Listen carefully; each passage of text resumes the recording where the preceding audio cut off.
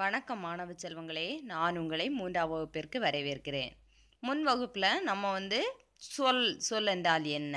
சொல் வகைகள் பற்றி நம்ம படித்தோம் இன்னைக்கு அந்த கீழ்கண்ட வாக்கியங்களுக்கான பெயர் சொற்களை கண்டுபிடித்து எழுதுக. இந்த மாதிரி பாக்ஸில் ஆன்சர் கொடுத்துருப்பாங்க.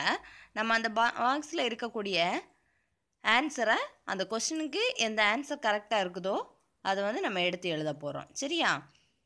ஃபஸ்ட் கொஸ்டின் பாருங்கள் குழந்தையை வளர்ப்பவர். நம்மளை வளர்க்குறது யாரு? தாய். அப்படிதானா? அன்னை. செகண்ட் ஒன் கல்வி கற்பிப்பவர். யாரு?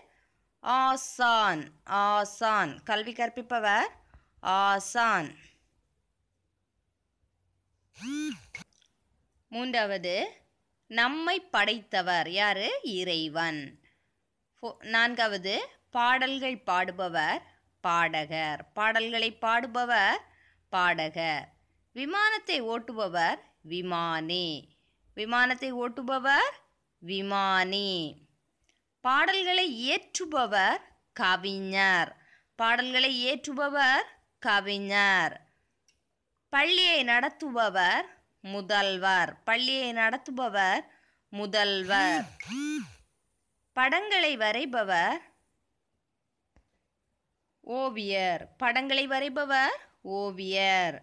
நூல்களை கற்றவர் அறிஞர். நூல்களை கற்றவர் அறிஞர். நல்ல பண்புகள் கொண்டவர் கற்றவர்கள். நல்ல பண்புகளை கொண்டவங்க கற்றவர்கள். சிலையை செய்கிறவங்க யாரு? சிற்பி. சிலையை செய்கிறவர்கள் சிற்பி.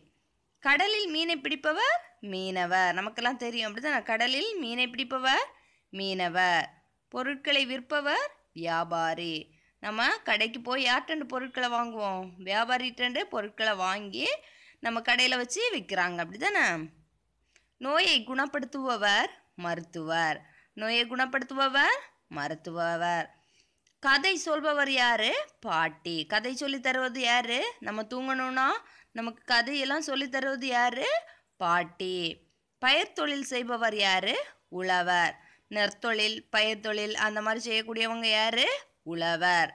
பேருந்தை ஓட்டுபவர் ஓட்டுநர். பேருந்தை ஓட்டுபவர் ஓட்டுநர். நெக்ஸ்ட் பாருங்க. பேஜ் நம்பர் பன்னிரெண்டுலே தான் கீழே உள்ள பெயர் சொற்களை அடிக்கோடிட்டு காட்டுக. கீழே உள்ள பெயர் சொற்களை அடிக்கோடிட்டு காட்டணும். சரியா? ஃபர்ஸ்ட் ஒன் பசு பால் தரும். இதில் உள்ள பெயர் சொல் எது? பசு. நம்ம லைன் போடணும். செகண்ட் ஒன் நாய் வீட்டை காக்கும். நாய் என்னது? பெயர் சொல் நம்பர் த்ரீ வெள்ளை நிற பூனை. பூனை பெயர் சொல் நான்காவது கடல் அழகாக இருக்கும். கடல் என்னது? பெயர் சொல் ஐந்தாவது இமயமலை உயரமானது. இமயமலைன்னு சொல்லக்கூடியது ஒரு பெயர் சொல் ஆறாவது மலையின் மேல் கோவில் உள்ளது. கோவில்னு சொல்லக்கூடியது பெயர் சொல் இந்திய நாடு நம் நாடு. செவன்த் ஒன் இந்தியா சொல்லக்கூடியது ஒரு பெயர். பெயரை குறிக்கக்கூடிய சொல். எ- எட்டாவது நம் நாட்டின் வட முனையில் இமயம் உள்ளது. இமயம் சொல்லக்கூடியது ஒரு பெயர்.